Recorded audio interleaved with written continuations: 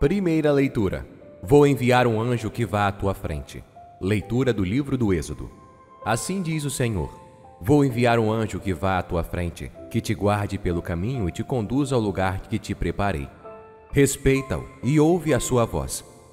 Não lhe sejas rebelde, porque não suportará as vossas transgressões, e nele está o meu nome.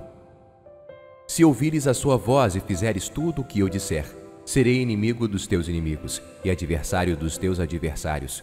O meu anjo irá à tua frente e te conduzirá à terra dos amorreus, dos hititas, dos fereceus, dos cananeus, dos heveus e dos jebuseus, e os exterminarei. Palavra do Senhor. Salmo responsorial. O Senhor deu uma ordem aos seus anjos para em todos os caminhos te guardarem.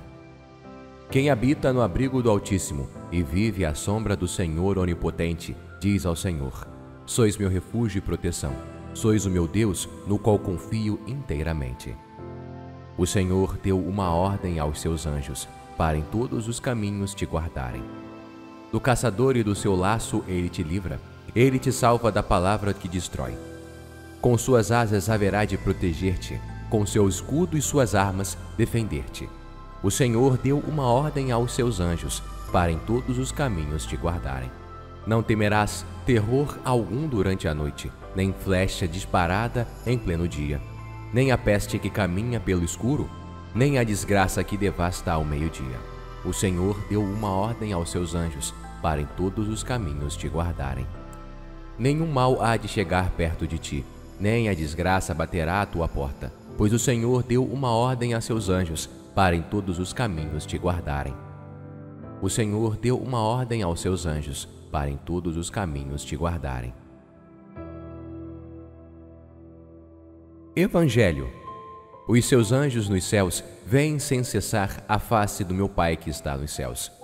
Proclamação do Evangelho de Jesus Cristo, segundo Mateus. Naquela hora, os discípulos aproximaram-se de Jesus e perguntaram: Quem é o maior no reino dos céus?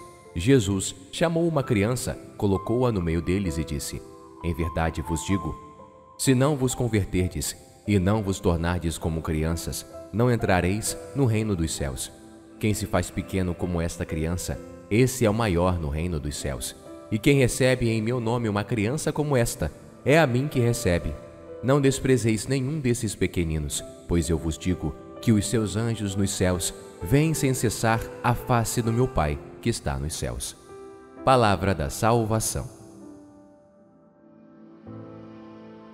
Encerramento. Que Deus te abençoe e te guarde neste dia e te dê a paz de Cristo no seu coração. Pai nosso que estás nos céus, santificado seja o vosso nome. Venha a nós o vosso reino. Seja feita a vossa vontade, assim na terra como no céu. O pão nosso de cada dia nos dai hoje. Perdoai-nos as nossas ofensas, assim como nós perdoamos a quem nos tem ofendido. E não nos deixeis cair em tentação, mas livrai-nos do mal. Amém. Ave Maria, cheia de graça, o Senhor é convosco. Bendita sois vós entre as mulheres, e bendito é o fruto do vosso ventre, Jesus.